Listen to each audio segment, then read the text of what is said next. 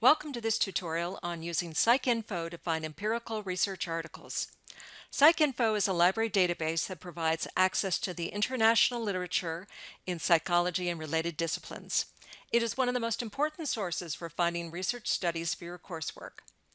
The library website is the starting point for your research.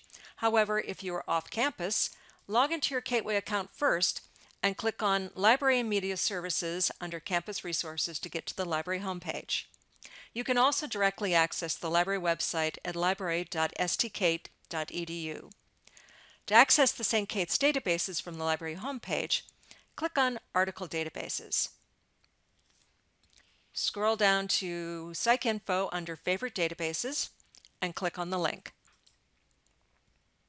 For this demonstration, you're going to look for empirical peer-reviewed journal articles about the effects of post-traumatic stress disorder on memory.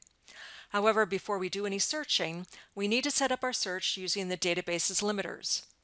Under the search boxes, click on Limit to Peer Reviewed, go down to the Methodology section, and click the box in front of Empirical Study.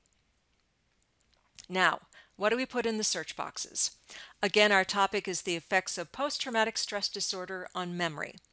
We need to put only the essential concepts of our topic into the search boxes, which is post-traumatic stress disorder, memory. Words such as effects are not helpful search terms, and neither is typing an, an entire sentence into a search box. In PsycInfo's advanced search, there are stacked boxes connected by drop-down menus with the words and, or, and not.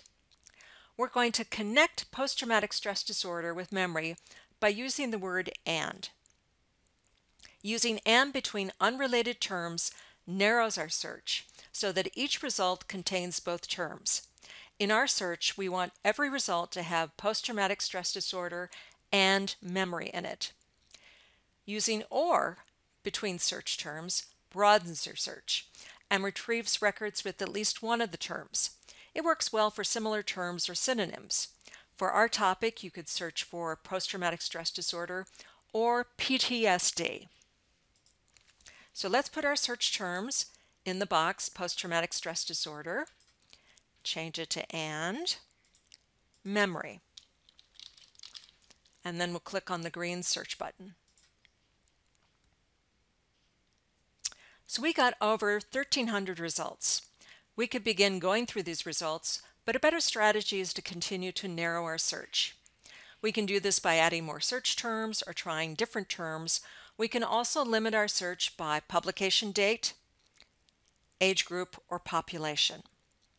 Let's narrow our search to the last five years, so we'll enter a date range, 2012, ending in 2017. We'll update our search. And I'm interested in this topic as it relates to veterans. So I'm going to add and veterans into my search box. We'll clean on the green search button and let's see what happens. Now we're down to 88 results.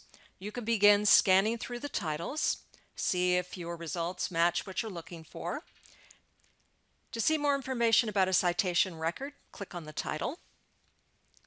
The full record will have additional information about the item, including an abstract, which is a brief summary of the article. On the right-hand side of the screen are tools that enable you to cite, email, print, or save. We'll go back to Results. And notice under each record, there's either a full-text PDF link, which will give you access to the full text of the article, or a Find It button, which will you can click on to see if St. Kate's has access to the article either in another library database or in print. You can try these same strategies in other library databases to find empirical research articles. The database interfaces may look different, but they function much like PsycInfo. If the database doesn't have a methodology limiter, you will need to add the words empirical research or other terms to the search box so that your results will contain those studies. You will also need to scan the article's abstract or the article itself to ensure that it is an empirical research study. As we wrap up the tutorial, let's go back to the library homepage. And if you need further assistance, click on the Help link. Librarians are research experts and can be contacted in a variety of ways to assist you at any stage of the research process. Good luck with your searching, and thanks for watching.